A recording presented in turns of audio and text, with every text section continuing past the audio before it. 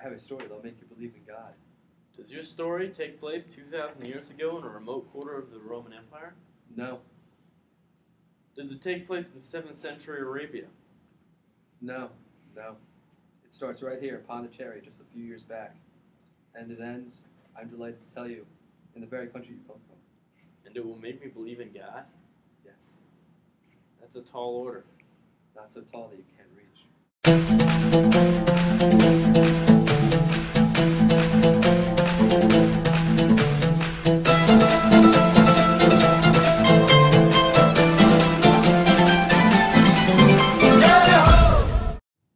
I can well imagine an atheist's last words White, white love, my God, and the deathbed leap of faith.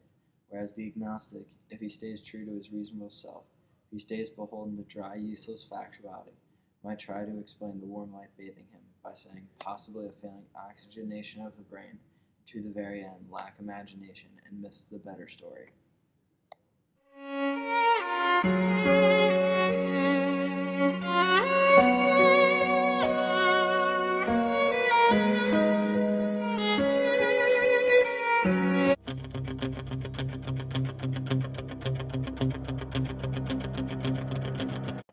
He talking about? I have no idea. You want words that reflect reality?